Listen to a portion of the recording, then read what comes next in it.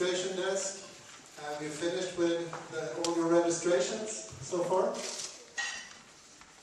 So, uh, for anyone that have uh, joined us before last time, we I was on stage and presented some keynotes. Very welcome to uh, the Startup Weekend Lund that is held together with some other Startup Weekend events. For instance, in Copenhagen, and if I understood this right, this will be sent in real time to Copenhagen. So feel the pressure, Peter. Uh, so uh, we will come back to uh, what we will do tonight because you will not just sit there listening and uh, eating and drinking and so on. So you will you will need to work for all the things you eat. Um, so, but uh, we will come back to, to, describe how we will set up your activities later on and the schedule for the weekend. But now I want to introduce Peter Sunde and Christopher and your surname? Christopher Persson, that is working for a company that is called not Flattle, but Flattr.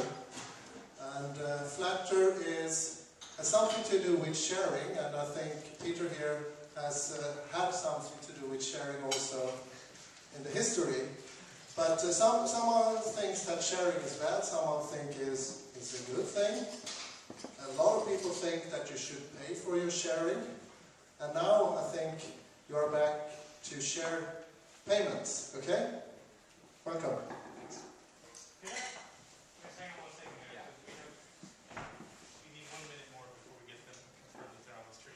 So, uh, you give a little bit of background about I, I could otherwise ask, can everybody hear me anyhow without the microphone? Yeah. It's so much nicer without it, so. Yeah.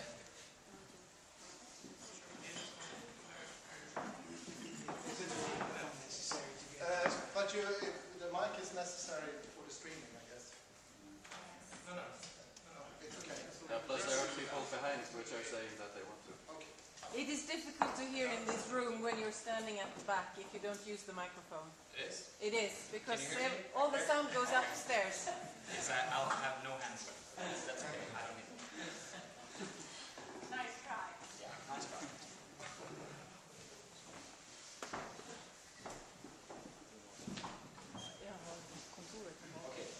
So, uh, hi everybody, my name is Peter Sunde Kolmisoppi, and uh, I'm the previous spokesperson for the Pirate Bay.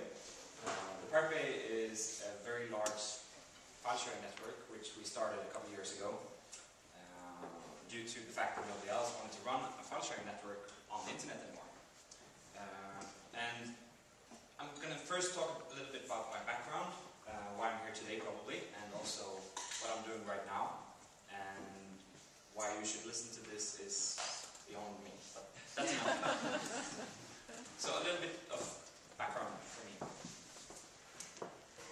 Uh, when I was about nine years old, I uh, started using computers. I was quite young, I was quite early, uh, and there was no way for me to actually get any type of uh, computer programs or games without actually copying them from someone. And this is what everybody did when I was young very, a very long time ago, it was almost 20 years ago. Uh, and um, everybody like never never thought about um, the implications of actually copying the software or games. Nobody thought about is it really wrong or is it okay to copy something which someone else has made. And now I'm a bit older, uh, a bit more mature, not much, and uh, I realized it's not wrong to copy anything, it's good. And uh, I decided to actually join uh, an organization called Piratbyrå, which was formed in Sweden at this time.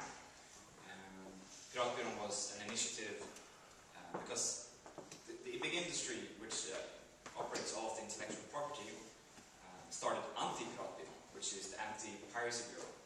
And we decided, well, if they're going to talk bad about copying, we decided to be pro-copying and start with copying their name and make it a bit better. So we dropped the anti. This was back in, I think, 2003. And uh, became very successful in the media. We uh, had big demonstrations on the 1st of May. We said, uh, you need 100 megabits uh, of internet in Sweden, otherwise you won't have a welfare society. And today most people have that. It's only because we demonstrated at that time, nothing else. we're also very good at taking uh, other people's things and making it our own.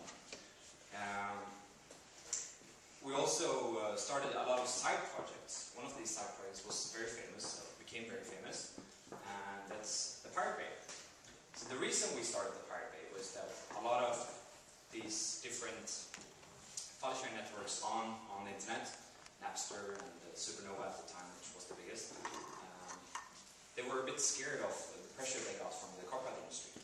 So the copyright industry said that uh, to all of the operators that you can't do this, you can't allow people to share files with each other, and we're going to sue you. And most of the people that ran all of these networks were 70-year-old year old kids. So they got scared when they got uh, a letter from the lawyers firm saying, you know, we're going to sue you, it's going to be 200 million dollars a day or something. So they just stopped running the networks.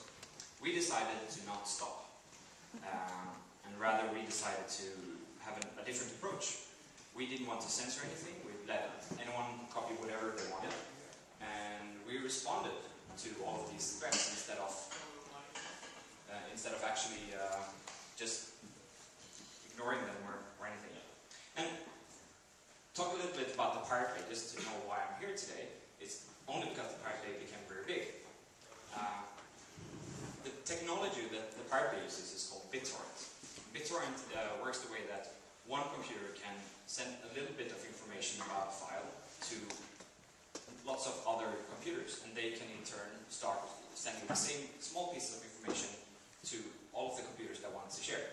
So essentially, you can have one sender and a thousand recipients, and they in turn become senders as well. So it's a very efficient technology. So Pirate Bay, back when we were still running a, a tracker system, which is central hub for this, we used to be before technology evolved, uh, had over 100,000 uh, computers that connected to our system at any second, asking for other people that were sharing information. So they could get a request uh, or a response saying there's 1,000 other computers that actually have this information, and these are the IP addresses that they actually have, which would turn into oh, millions of connections between computers in every second all over the world. Um, Bay became so big that it's today about 60 to 65 percent of all the BitTorrent traffic in the world is actually shared using the Pirate Bay. And uh, just to make that something interesting,